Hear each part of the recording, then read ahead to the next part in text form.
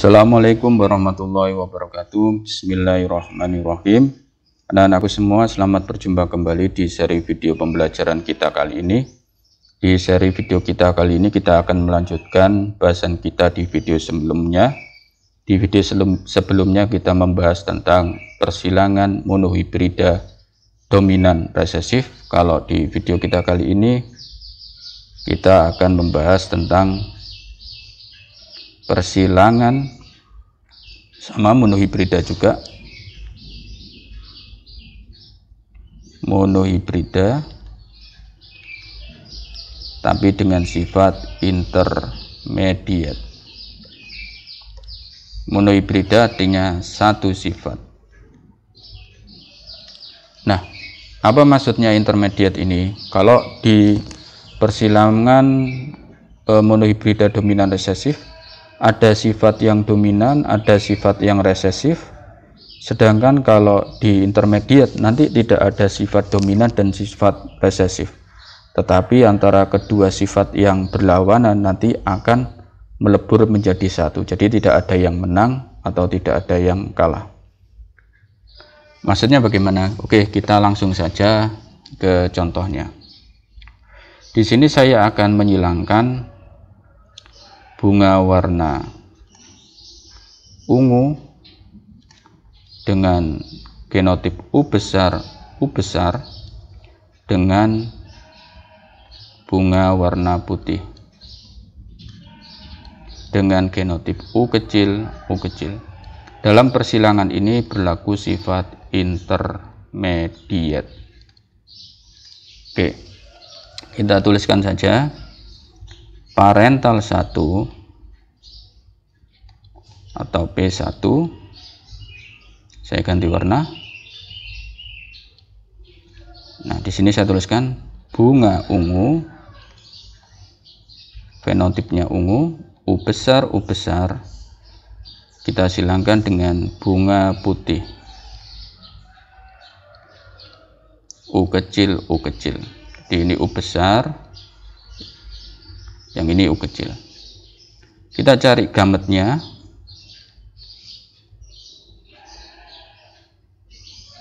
Oke, gametnya di sini adalah U besar U besar, maka kita ambil U besar.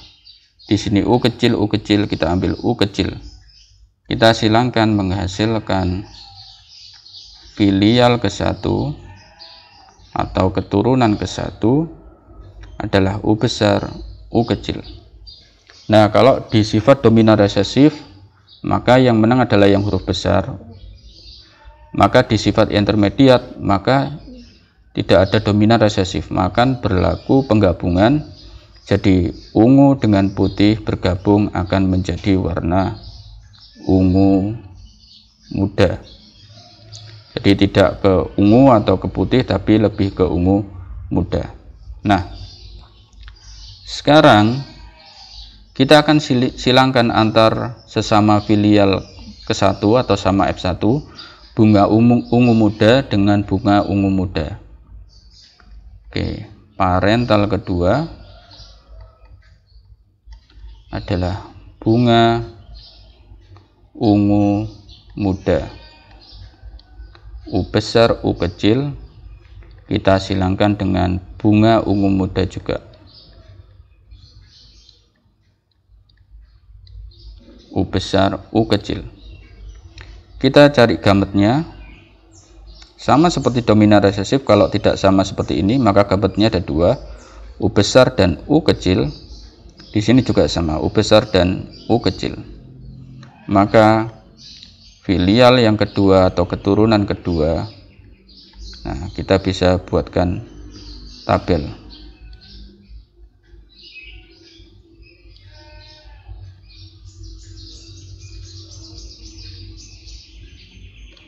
Seperti ini.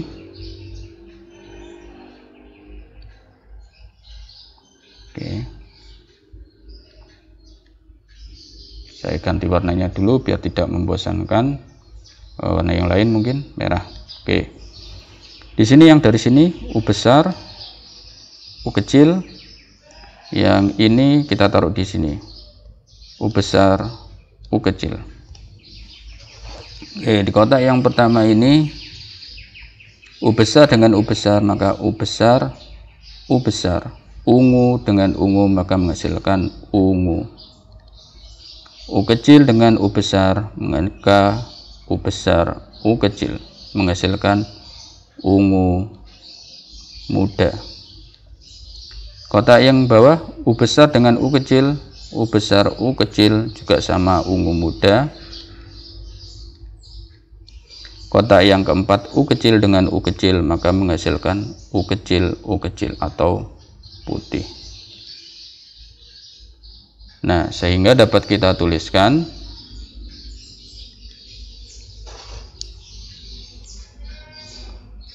dapat kita tuliskan perbandingan genotipnya adalah U besar U besar. Sebanyak satu. U besar U kecil. Ada dua. U kecil U kecil. Ada satu. Jadi pada persilangan intermediate monohibrida ini perbandingan genotipnya sama seperti dengan perbandingan genotip persilangan monohibrida dominan resesif. Sedangkan perbandingan fenotipnya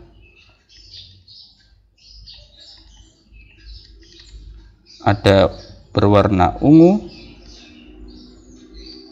satu buah berwarna ungu muda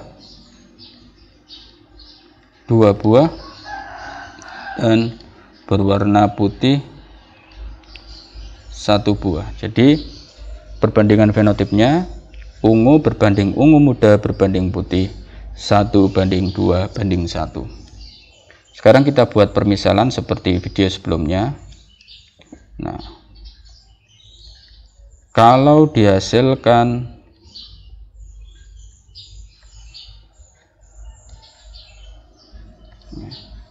seratus bunga